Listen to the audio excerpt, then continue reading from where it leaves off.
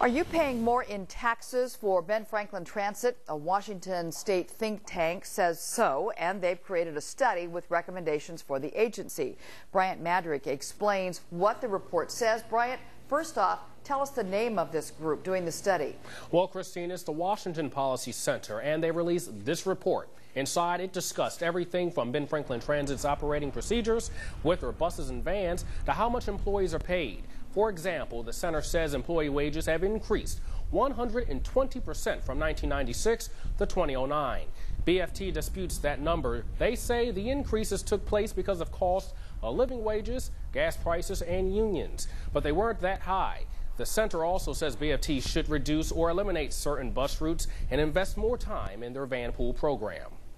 Franklin Transit has an enormously successful van pool system uh, that is increased in riderships. It doesn't cost taxpayers a lot to operate. In fact, it only costs about a quarter per passenger trip to operate. The bus service uh, in Ben Franklin Transit is a different story. Our fixed route bus system and our van pools serve very different populations, and I think that's it's not really apples to oranges. McMullen adds Vanpool riders or their employers pay a lot more than other riders relying on regular bus routes. Some of the changes the Policy Center recommends are happening. Because of low ridership in the fall, BFT will combine two routes in Richland, the 20 and the 24, into one new route, the 25. Live in studio, Bryant Madrick, KNDU, right now.